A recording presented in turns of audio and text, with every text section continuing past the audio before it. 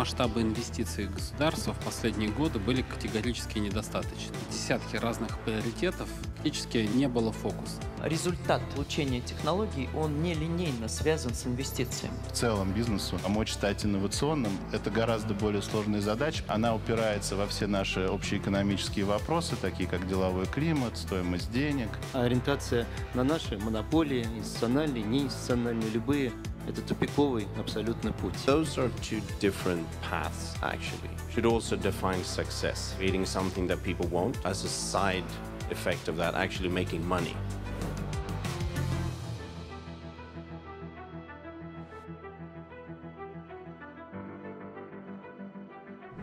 Нужна защищенность предпринимателя. И это очень серьезная проблема.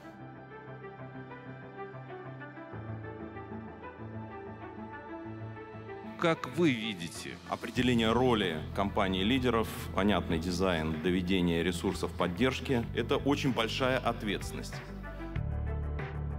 Сомнений по поводу ответственности и обязанностей не возникало. Кому будут принадлежать результаты? Это шанс да, но ответственность я понимаю очень четко. Ответственность должна вместе с собой содержать и компетенции, полномочия какие-то, и ресурсы, главное. Не приводит ли это к структурной монополии? Для нас очень важно максимально открытая, конкурентная среда на тех рынках, на которых мы оперируем.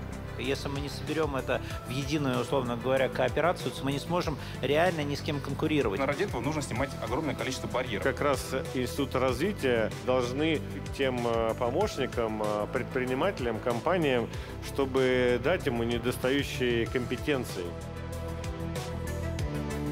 Мы не во всем сходимся. Мы начали разговаривать об этом. Есть шанс, что мы придем к общей позиции. Мы все сделали ставку на технологическое лидерство. Теперь все зависит от нас.